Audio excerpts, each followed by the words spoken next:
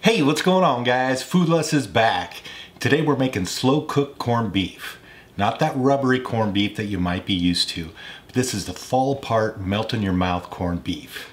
The thing is, corned beef is a brisket, and it needs to be cooked slow in order to dissolve the connective tissues. Otherwise it'll be tough and chewy. Nobody likes that.